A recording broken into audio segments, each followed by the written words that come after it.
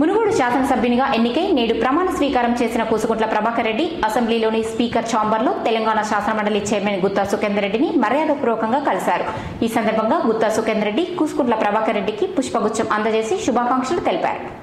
ఈ కార్యక్రమంలో ఎమ్మెల్సీ షేరి సుభాష్ రెడ్డి నల్గొండ జిల్లా పరిషత్ చైర్మన్ బండ నరేందర్ రెడ్డి టీఆర్ఎస్ నాయకులు యామ దయాకర్ తదితరులు పాల్గొన్నారు.